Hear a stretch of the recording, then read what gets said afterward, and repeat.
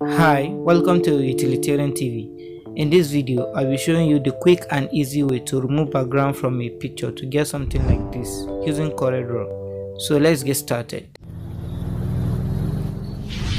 Utilitarian TV. To achieve this, I'll select the shape tool, which I'll use to create a note around this picture so that I can trim out the background from this picture.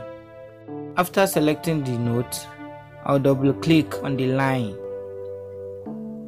I've created a note on the line by double clicking and I'll use this note by dragging it around the edges of the picture. To get a curve, click on the line and select the curve on, at the top menu there just like the way I'm doing it. As you can see the background is trimming out from the picture. just need to continue double clicking and create a note around the picture.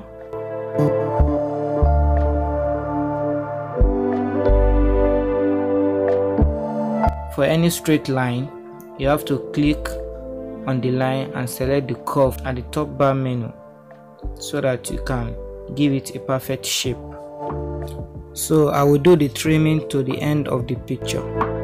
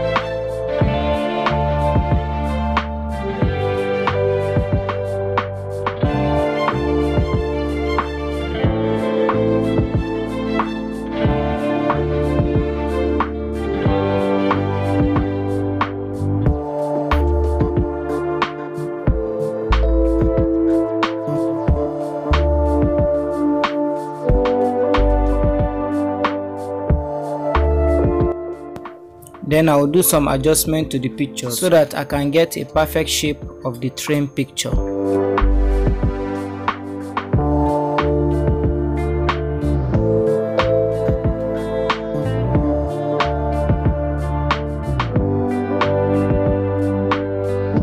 This is the fastest way you can use to trim out the background of a picture using CorelDRAW. We have come to the end of this video. In case if you found this video very useful, please give it a thumb up by liking the video and also share it with your friends in case you have any doubt please drop your comment in the comment box below.